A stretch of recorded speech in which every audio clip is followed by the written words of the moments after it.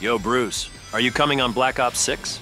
Nah, I just want to get this game done and out of the way first.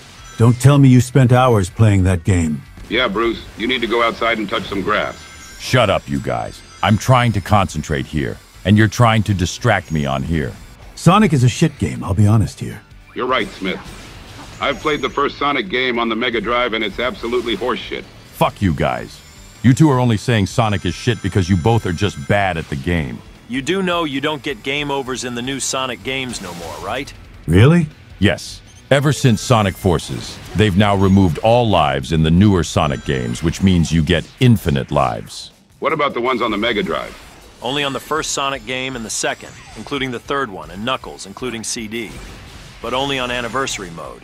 And that is on Sonic Origins. Maybe I'll get the game at some point when I get the money. But at the moment, I'm skint. Because Scott just spent a hundred quid on my credit card for buying V-Bucks on Fortnite. Wow. Fancy letting your son spend all your money on V-Bucks. Well, I didn't let him.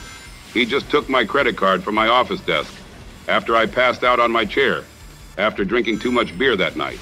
You seriously didn't drink that much beer, Jeff. Well, I just wanted to see what it was like. Yeah, this is not GTA, Jeff. So that's your own fault that your son spent your money on V-Bucks anyway.